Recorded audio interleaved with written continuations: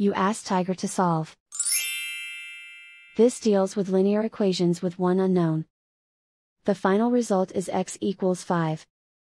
Let's solve it step by step. Group all constants on the right side of the equation. Subtract 4 from both sides. Simplify the arithmetic.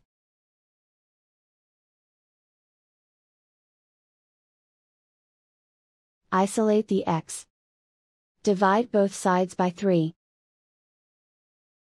Simplify the fraction. Find the greatest common factor of the numerator and denominator. Factor out and cancel the greatest common factor. And so the final result is x equals 5.